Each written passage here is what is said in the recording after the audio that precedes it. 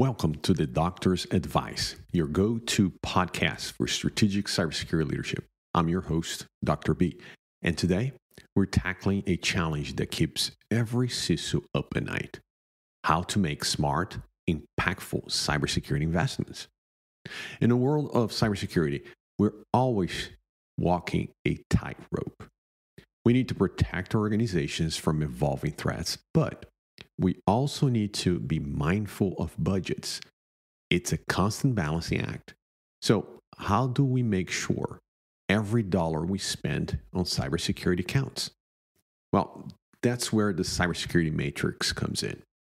This framework developed by Sounil Yu is like strategic compass for CISOs. It helps us identify gaps in our defenses, prioritize our spending, and build a cybersecurity strategy that's both comprehensive and cost effective. Let's break it down here for, for a second. The Cyber Defense Matrix is a 5x5 grid that maps security functions to the assets they protect. Think like a chessboard, where each piece has a specific role and position. The five security functions are identify, protect, detect, respond, and recover. These are the NIST cybersecurity framework functions. These are core activities that make up our cybersecurity strategy. And the five asset classes are devices, networks, data, applications, and users.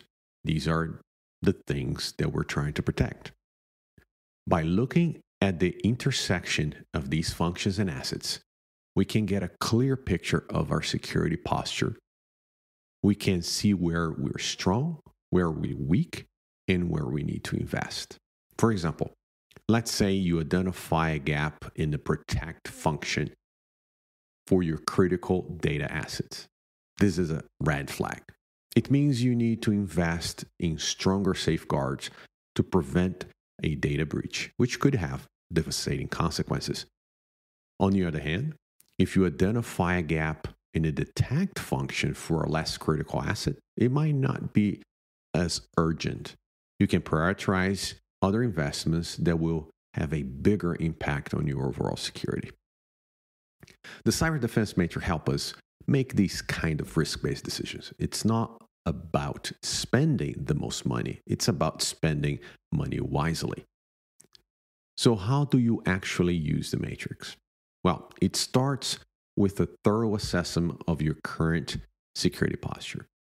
You need to understand your assets, your risks, and your vulnerabilities. Once you have that understanding, you can start mapping your security controls to the matrix. This will help you identify any gaps and prioritize your investments.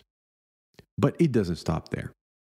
The cybersecurity defense matrix or your cyber defense matrix is not a one and done exercise. It is a living document, and you should be revi- uh, reviewing and revising and updating this on a regular basis. As your organization evolves, so do your risks. New threats emerge and new vulnerabilities are discovered. You need to stay on top of these changes and adjust your security strategy accordingly. The Cyber Defense Matrix is a powerful tool that can help CISOs navigate the complex world of cybersecurity risk management. By using the matrix to identify gaps, prioritize investments, and build a comprehensive security strategy, you can protect your organization's value, valuable assets and ensure its resilience. So, if you're a CISO looking to make a smarter cybersecurity investments, I highly recommend giving a cyber defense matrix a try is a strategic compass that can help you navigate the ever changing threat landscape and make the most of your security budget.